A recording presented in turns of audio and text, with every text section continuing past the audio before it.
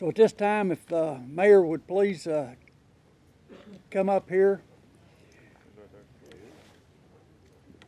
You hadn't on me. I wasn't hiding. I was just standing in the shadows. The two uh, plaques that are back there in the back, one of them will go to the uh, city of E-Town. Uh, when we had the the veterans, uh, the Vietnam cut out and all by uh, the uh, tank company here in town, they had some scrap left over. And that Vietnam, both of those are made from that scrap, which they were going to only uh, wind up throwing away. So we have one for you, Mayor, that uh, we really, we really appreciate you.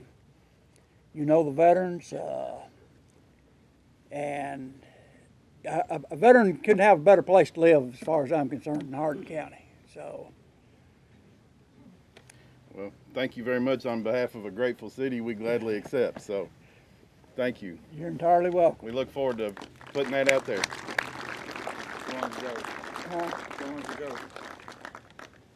At this time, uh, we will uh, have our uh, post commander 113, uh, Joe Garrett, who's been in it for two years. Uh, and, it, you know, I think he's done a fantastic job out there, especially for the veterans and uh, for the post and for the community and uh, the youth uh, in this, in this uh, county.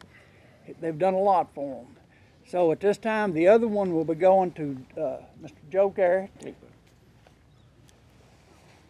And we appreciate you. Well, on behalf of all the members and all the veterans of uh, Hardin Post 113, uh, I have to tell you, Denzo, we, we really appreciate that and we'll put it in a prominent place. And I definitely appreciate it because I have two tours in Vietnam. So it, it's, it's special to me. So thank you. Thank you. Good morning. Providing the music for today's ceremony is the Heart of Kentucky's Men's Chorus.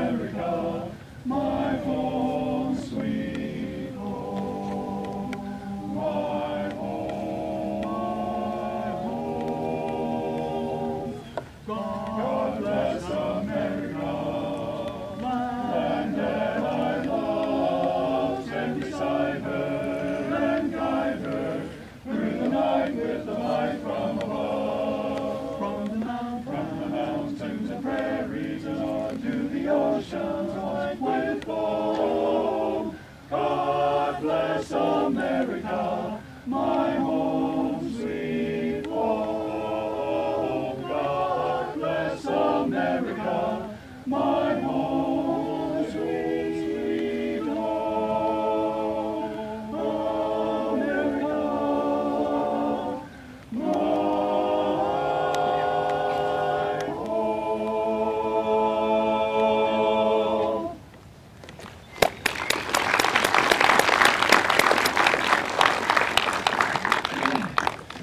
Fellow veterans, distinguished guests, ladies and gentlemen, welcome to the city of Elizabethtown and American Legion Post 113's annual Veterans Day ceremony.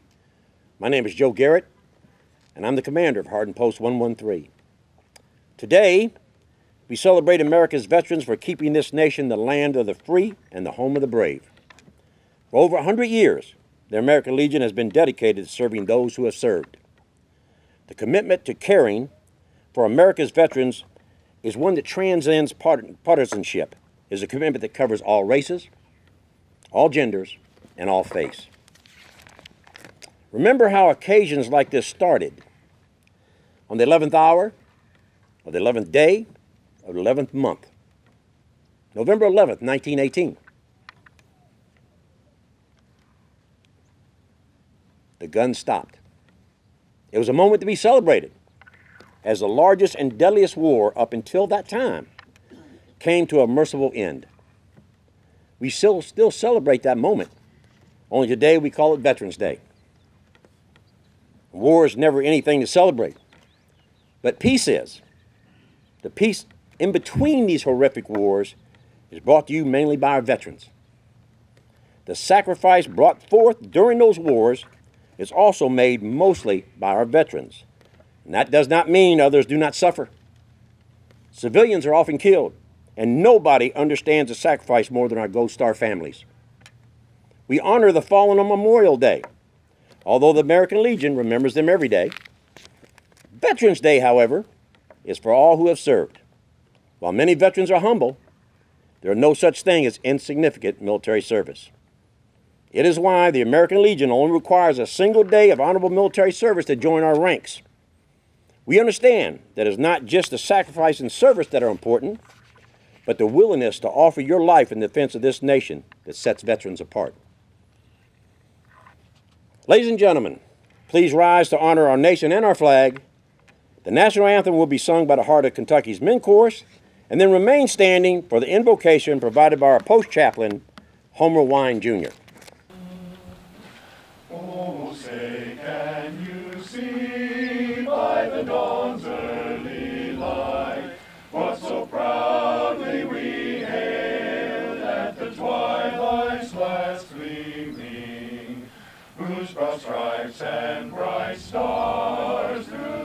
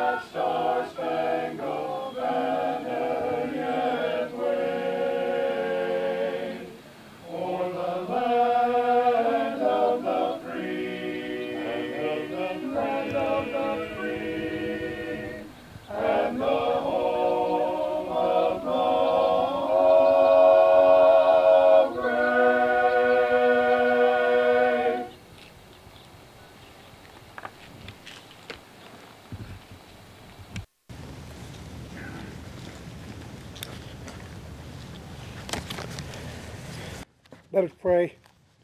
O God, eternal Father and everlasting King of heaven and earth, we render you acknowledgement of your supreme dominion over us and gratitude for your paternal solitude and watchfulness. As we gather here in humble recognition of your divine providence, we beseech you to usher into the world of confusion and doubt, peace, tranquility, which alone can come from you. Bless and protect our nation. Be merciful to our honored dead. The memory of those valor, courageous, and risen inspires us to noble action and eternal vengeance and presentation of your priceless liberty, of our rights, enduring happiness. Guide and direct our minds to a thorough understanding of your duty to you, our country, and to another. Awaken in our hearts the desire and the will to accomplish the ideals of which the nation exists, so that out of our determination and upon faith and understanding, a world dedicated to preserving individual rights and dignity of man, a world of tolerance, justice, a world intent on loving and serving you, our Lord and Master. Amen. Amen. Please be seated. It is my honor to welcome here today uh, friends from our city, county, state, and federal government, active duty military, veterans, families, and friends of those who are here, local media organizations, local law enforcement, and first responders. Veterans Day is a day for honoring our veterans, those men and women who have served and are serving our country. Please join me in recognizing all of our great veterans present for today's ceremony. Veterans, if you would or if you could, please stand or raise your hand.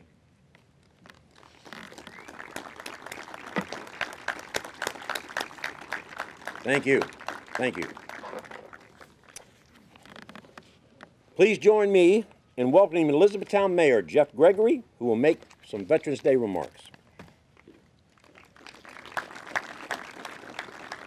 Thank you, Commander Garrett. Uh, I really appreciate the opportunity to get up here. This is the second time I've gotten to do it, and uh, it's quite an honor and one that I will always cherish. Uh, I've said multiple times the fabric of our community is made up of our veterans, especially being so close to Fort Knox and, and the people that have gone to Fort Knox and, and retired from there and made this community their home. They have really improved what we have here, and so I think across the state of Kentucky that uh, in a lot of ways we're the envy uh, of a lot of different places because we have such a strong fabric of veterans and what they've given back and contributed to the community. I'll also say that the backdrop that we have here for this service and for other services that we get to have out here annually, I would argue with anybody and tell them this is the very best in the Commonwealth of Kentucky. And there's a young lady that I want to recognize in the audience, Mary Berger, if you'll throw your hand up. I would love to take credit for this wall, but she is one of the staples of being able to get this done. So I like to put her on the spot every year. I know she appreciates that. I also want to say thank you to our Parks and Rec Department. Uh, Seth Brightner, Kerry Wooten, and all of their staff do a great job out here taking care of this wall, taking care of the grounds, and uh, they really appreciate what we have out here as well. We have a tremendous American Legion post led by Commander Garrett, and the things that they do in the community are outstanding, and we appreciate all of their efforts and the great partnerships that we have with them as well. So thank you, Commander Garrett and the American Legion.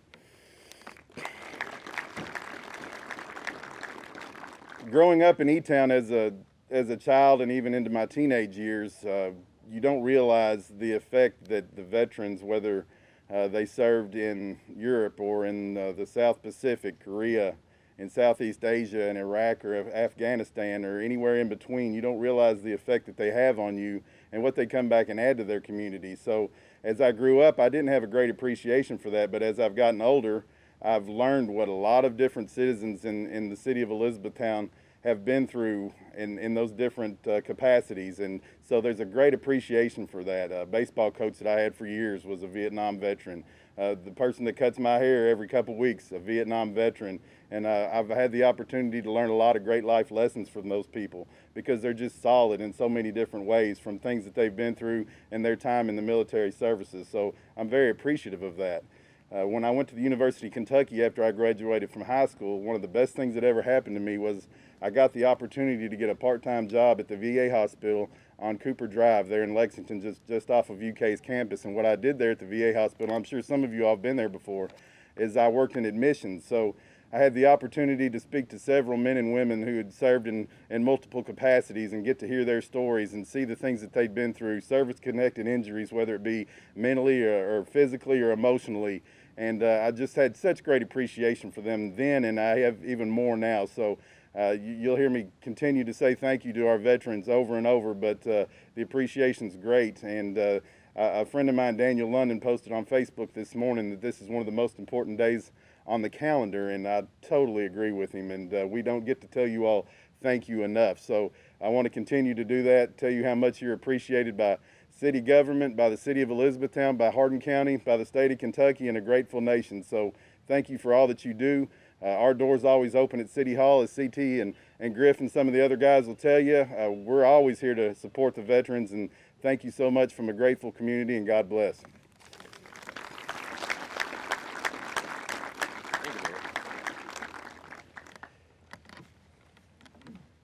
Congressman Brett Guthrie represents the 2nd Congressional District of the U.S. House of Representatives. The 2nd District is the home of the birthplace of Abraham Lincoln, Mammoth Cave, and Fort Knox. Congressman Guthrie served, serves on the House Energy and Commerce Committee and the House Committee on Education and Labor. Congressman Guthrie graduated in 1987 from the U.S. Military Academy at West Point and went on to serve as a field artillery officer in the 101st Airborne Division Air Assault at Fort Campbell. He later earned a master's degree from Yale University in Public and private management, and he is married to the former Beth Clemens.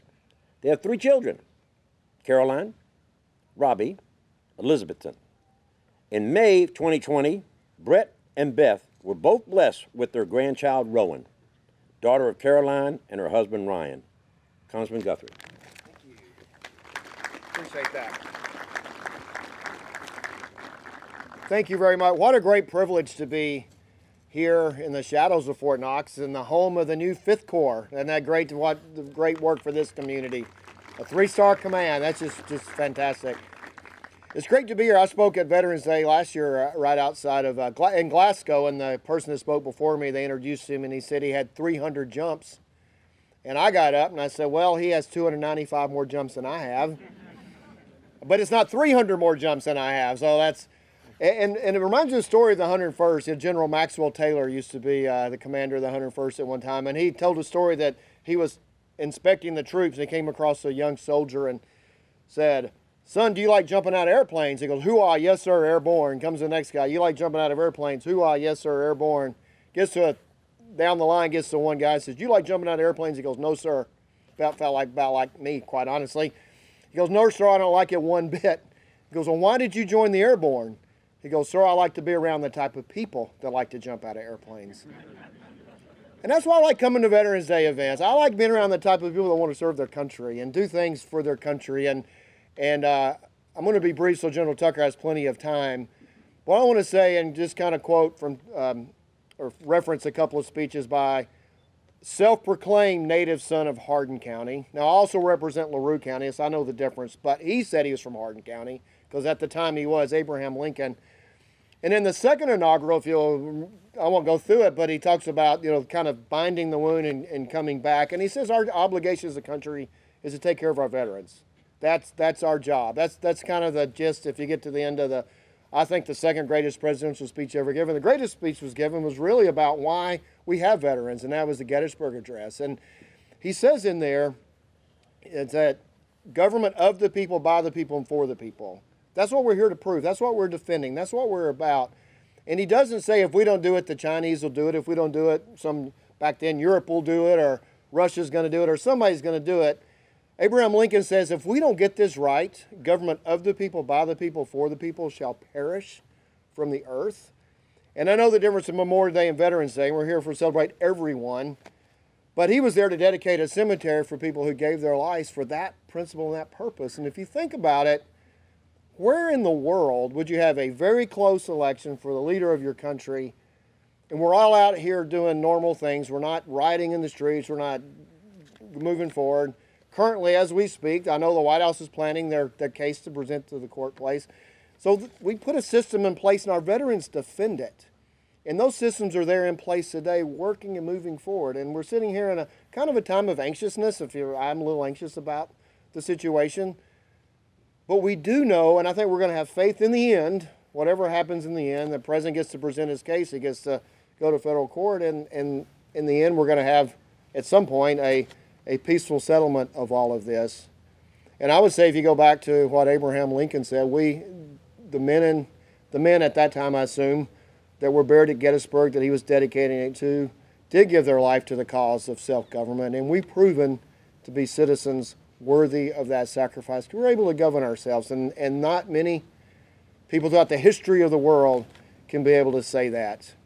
And there's not a better defender of that than our men and women on active duty today. See Judge Berry there in Hardin County at Fort Knox. The new Fifth Corps that's coming in to defend, they're there to defend freedom in Eastern Europe, or what we used to call Eastern Europe. Most of the soldiers are in Poland, the headquarters are here. And so we're part of that, and we're part of that. And I'm proud to have any redlegs here. I'm proud to be an artilleryman. All right, I can't, my ears are ringing. I hope your ears aren't ringing like mine are.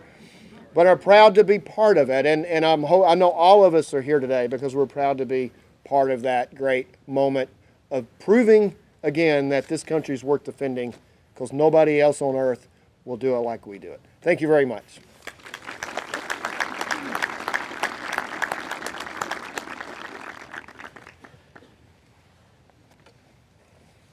Ladies and gentlemen, it was a great pleasure for me to introduce our keynote speaker, Major General retired Terry L. Tucker.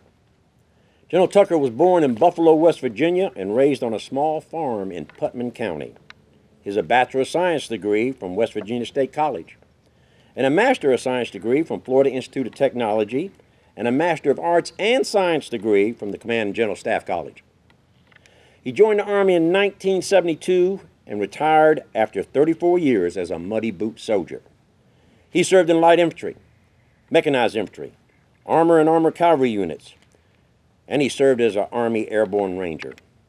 His last duty assignment was at, as Commanding General, U.S. Army Armor Center and Fort Knox.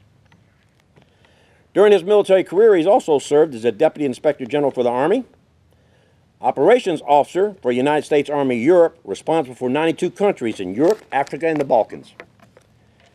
General Tucker commanded the nation's worldwide effort for search and recovery of American prisoners of war and missing in action. He also commanded the famed 7th Cavalry in combat during Operation Desert Storm. The 1st Squadron, 1st Cavalry in Europe, and the 11th Armored Cavalry Regiment at the Army's National Training Center.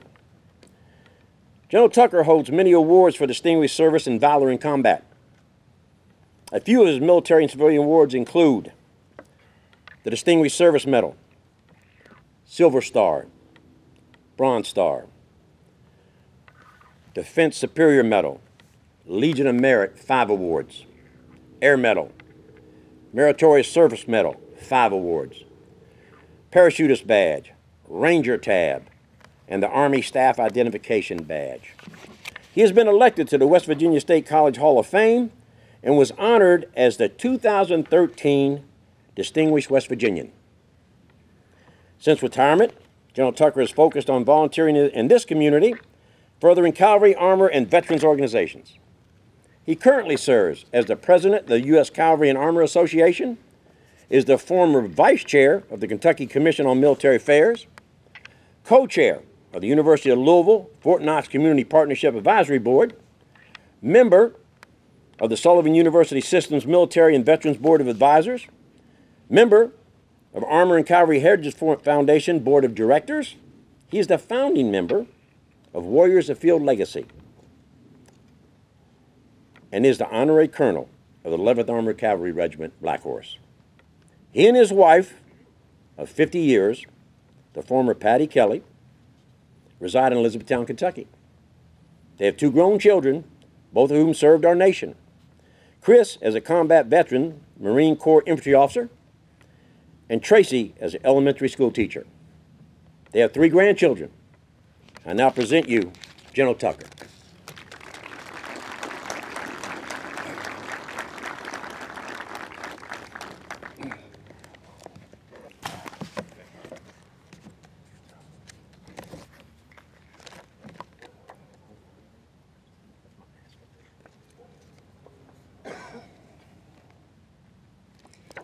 I've been accused of having no original thoughts. So today what I want to do is reinforce some of the things that have already been said here. First, I'd like for everybody to look across that field to the east. The high plains in the distance. It's Wednesday. It's freezing cold and it's raining. It's the 11th month of the 11th day. And in five minutes, it will be the 11th hour. Artillery's fallen to the front, and artillery has fallen to the rear. On the left and on the right of the line, there's fighting. And to the front, are mines and wire. It's no man's land. And in five minutes, the war to end all wars will cease. The guns will stop shooting. And all around the world, there will be cheering and great celebration. But on this battlefield and in these trenches, there'll be an eerie quiet. There'll be no cheering and celebration from the men who have endured and survived. Just an eerie silence and thoughts of their buddies, the ones who did not hear the guns go silent. Good morning. My name is Terry Tucker. And for 34 years, I was an American soldier. And when it came to settle down after the Army, Patty and I decided to return to the best place we ever served and ever lived Hardin County, Kentucky. Commander Garrett, thank you for those kind comments, and I promise you I won't talk as long as the introduction. Congressman Guthrie and Mayor Gregory, it's an honor to spend some moments with you and share the stage here with you. And Judge, Executive Berry, and distinguished guests, but most of all, most of all, soldiers and sailors and airmen and Coast Guardmen, and yes, even dadgum Marines. I'm honored to stand with you. Today is about recognizing and honoring and thanking the millions of men and women who have answered our nation's call to defend it in times of peril. But most of all, I think it's just to say thank you. Hardin County, Elizabethtown, American Legion 113, American Legion Riders and Color Guard, thanks for all you do to support our veterans and their families in this community. Thanks to our local veterans, those who are here today and those who can't be with us, active, reserve, and National Guard. I'd like to recognize our veterans from the greatest generation, those who changed the course of the world during World War II. Can you imagine what this world would be like if those 16 million men and women had not gone and done what they did in Europe and in Asia to stop the brutality and the intent of world domination. I'm appreciative of the sacrifice of the 307 Kentuckians who went to war during World War II and the nearly 8,000 who gave their lives. It seems that uh, we never accept the, expect the next crisis. How many anticipated Korea so soon after we dismantled our military after World War II? Our veterans from that war, like almost every war we've ever fought, served in an army that was, quite honestly, unprepared. Casualties were high. They had some of the most brutal fighting in brutal cold in a brutal land that we've ever seen. For those of you who have served in Korea, whether in war or in peacetime, you know exactly what I'm talking about. Over 88,000 Kentuckians fought there, and for them it was not the forgotten war. Do you know that we will soon recognize the 56th anniversary of the beginning of the Vietnam War? It's hard to believe that it, the war officially began in January of 1965. Until recently, it was our longest war and certainly our most divisive. That was the war of my generation the first war that we watched every day on television. We all know someone that fought in Vietnam, and I think we all know somebody who died in Vietnam.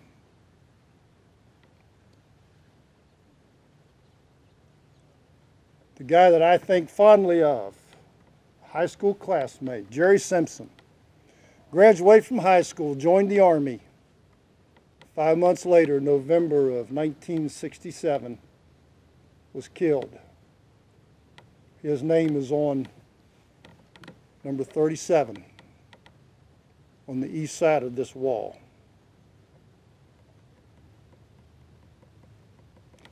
But today we also need to honor the greatest generation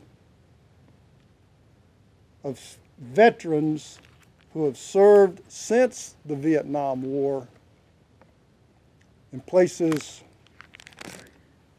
like Desert Storm in the Balkans, in Iraq and Afghanistan, and a dozen other fights that you've never heard of. In fact, I believe men and women from Kentucky have served in every war and every conflict since before we were a nation. Without that sacrifice, there wouldn't be a United States of America. So thank you, Hardin County, for standing up for this country. Today, there are too many homeless veterans. Our VA hospitals are crowded and filled, and too many old and young vets need our help. Our second largest unemployment and underemployed population in this nation are veterans. Most of these challenges will not end anytime soon. We need to do more. Over the last 10 years, we returned more veterans with major combat wounds than in any previous conflict. I encourage our local and our state agencies to continue their long-term efforts for our veterans. If there are any Gold Star mothers or families here, thank you for your treasure. And the families of our veterans and our soldiers, what will we do without you? So, in closing, let me leave you with the last few random thoughts. The nature of war has changed, but it's just as brutal with long lasting effects on our troopers and our nation as it's ever been. Through our entire history, we have gone to war unprepared. We've taken great early casualties. Then we won. Then we dismantled our armed forces. Then it seems we just repeat the process over again. I predict that the future will be more of the same. When you see an old soldier like me at Walmart in the parking lot or at Lowe's or downtown wearing a veteran's hat, one of about a hundred different kinds, just say thank you and smile. I was raised by parents in the greatest generation. They gave me core values. They took me to church. And they taught me right from wrong. I got lucky. 50 years ago, I was fortunate to marry Patty Kelly, a city girl from West Virginia. Can you believe that? Patty Kelly saved me from my own foolishness. I got lucky again. And lastly, when Americans and their soldiers engage, it creates fear in, the, in our enemies, and it creates hope in our friends.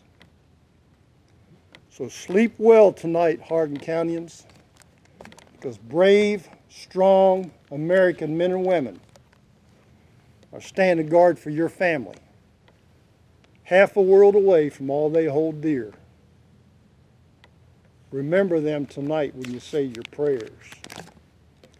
May God continue to bless our soldiers, our families, and our veterans.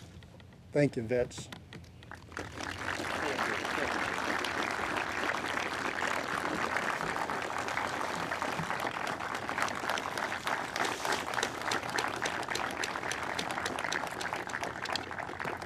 General Tucker, on behalf of the city of Elizabethtown and all the members of Hardin Post 113, please accept this as a token of our, our deep appreciation. Great. Thank you, thank you, Joe. Appreciate it.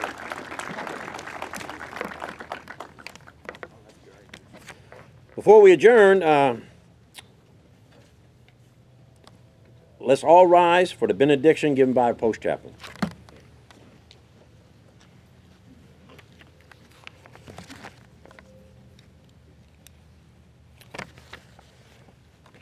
Let us pray. Let us depart in peace and love and charity to our neighbors. May we join together in common goal of service to our God and country. Let us drive safely and carefully to our homes, and may God's blessing be with us all. And all God's children said, Amen. Amen. Please be seated.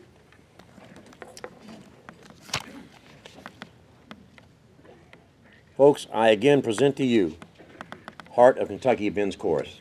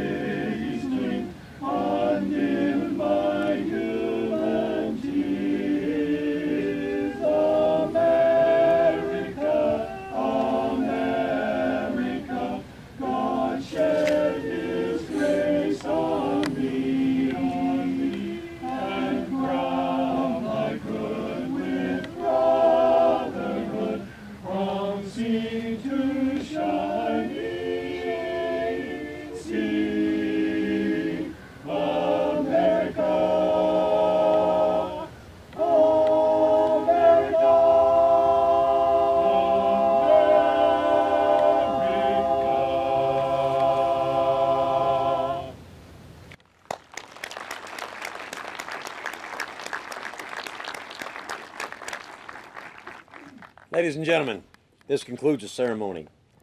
I want to thank you for attending. I especially want to thank Mayor Gregory, Congressman Guthrie, General Tucker, the Heart of Kentucky Men's Chorus, and the American Legion family for making this ceremony a success. Most importantly, thank you to our veterans. Thank you for serving our country and protecting our freedoms. God bless you and your families. God bless our veterans. And God bless the United States of America.